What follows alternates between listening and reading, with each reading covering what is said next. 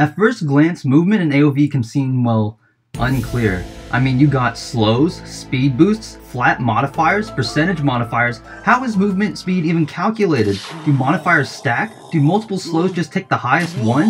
What happens if you get slowed and get a speed boost? Am I wearing any clothes right now? We'll answer all of this and more in this episode of How It's Made. Dun, dun, dun, dun, dun.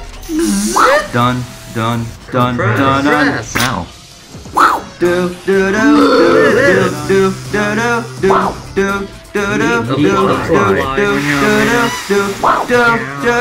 do do do. Lucky bread.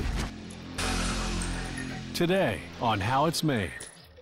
Warning, this video is made with whole grains, which means it doesn't taste as good but is better for you. Viewer's discretion is advised. Okay, first of all, how is movement calculated? I ran some tests with Superman to find out. In AOV, movement is calculated by multiplying base movement by multipliers. Only a few sources can increase base movement. These are Boots, Hermes, Sentinel Buff, Clay's Sanctity, and the River Enchantment. Let's look at an example. Superman has 380 base movement speed.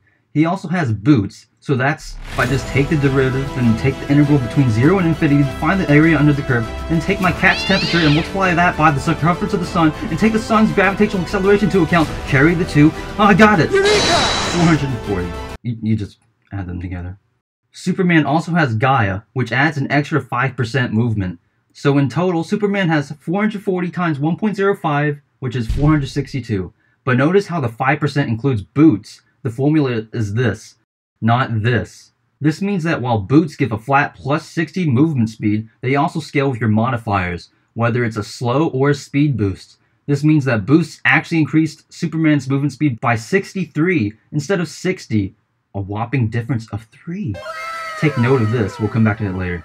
Okay, so far so good, but what about slows? I did a couple tests versus Chaugnar's S1, which deals a 50% slow. Superman with boots taking a 50% slow is just 220, but if I give Chaugnar Frosty's Revenge, which deals a 20% slow, Superman's movement speed goes down to 132. With some rearranging, we can see that a 50% slow and a 20% slow combined is just a 70% slow. And now we have our movement speed formula. Movement speed equals base movement speed times 1 plus speed boost minus slows. However, the same concept applies to speed boosts. Remember that whopping profit of 3? Well, if we give Lindis Boots, Sentinel Buff, and Clay's Sanctity, her base movement speed goes up to 495.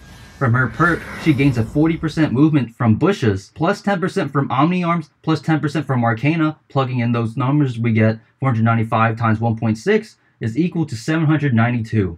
For reference, the maximum movement speed is 800. This is one reason why Capheny is so broken. I mean, besides her armor shred, crit damage, and attack speed conversions, and her ability to basically melt any hero like that chocolate bar in the back of my pocket, ugh, yuck. Capheny bypasses a core mechanic that all other heroes have to go through she doesn't have to stop to attack. Attack speed items often compensate for you having to stop to attack more often by giving you movement speed in return. However, not only does Capheny convert attack speed to attack damage extremely efficiently, by the way, the conversion is just two times her attack speed, but she doesn't have to stop to attack, meaning the extra movement from attack speed items is not compensation anymore. It's just a buff. Movement speed on Capheny is just way more efficient than any other hero. That's why she can weave in and out of fights by literally just walking. Also take into account that Clay's Sanctity adds to her base movement, meaning that all the bonus movement she gets from her attack speed items also scales with Clay's Sanctity. Late game, Clay's Sanctity is almost like another pair of boots, just by doing nothing but auto-attacking. Oh Oh my god, how is he doing that? Look at that skill! Look at how he's using the joystick and tapping the attack button at the same time!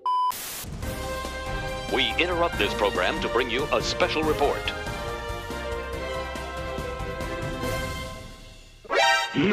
So AOV just released a new update that changed movement speed calculation after I already recorded everything. This has literally never happened before!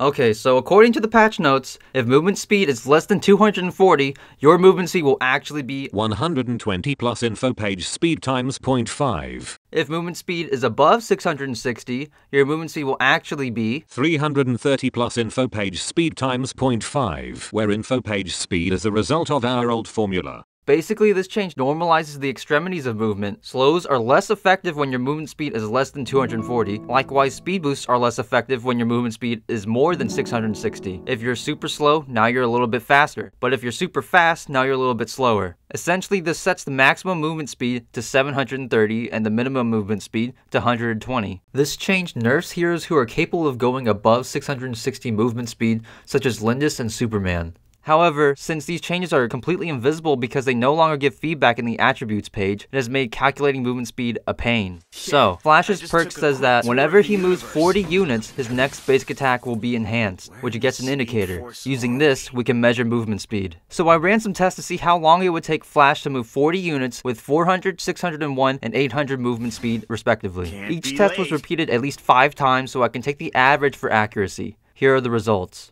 At 400 movement speed, we get 10.12 seconds. At 601 movement speed, it took 7.78 seconds. And at 800 movement speed, it took 5.67 seconds. Using just this, we can see that there's definitely some manipulation here. If 400 movement speed is 10.12 seconds, then we should expect 800 movement speed to be twice as fast, or 5.06 seconds. Instead, we get 5.67 seconds. This looks like the new mechanic kicking in. Additionally, before the patch, if you got slowed to zero movement speed, you would stutter in place and literally not move. Now if you get slowed to zero movement speed, you're still able to at least crawl around. So, what did we learn in boating school? Well, the formula to calculate movement speed is base movement times 1 plus speed boost minus slows. If movement speed is less than 240, then movement speed equals 120 plus movement speed divided by 2. If movement speed is more than 660, then movement speed equals 330 plus movement speed divided by 2. Slows and speed boosts from different sources stack. This means that Frosty's Revenge on Chaugnar is actually really good. This also means that Clay Sanctity plus Slicks plus Devil's Handshake on Capheny is also really good. Capheny is broken. Slows and speed boosts from the same source do not stack. They only refresh the timer on their buff or debuff. Spirit Sentinel is best on heroes with speed boosts. Am I wearing any clothes? You'll just have to find on the next video. That's all for me. Hopefully learn something new, and I'll see you guys next time. Okay, thanks, bye.